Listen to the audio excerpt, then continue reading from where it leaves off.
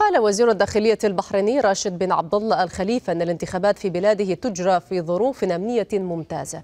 وفي مقابلة مع سكاي نيوز عربية أكد وزير الداخلية البحريني أن الديمقراطية في البحرين تتطور.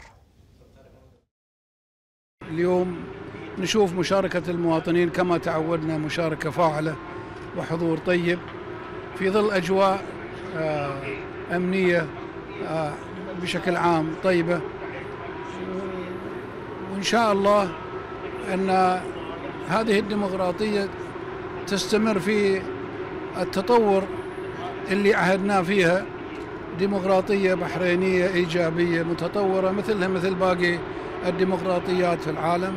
والأساس فيها ما نشهده اليوم من مشاركة.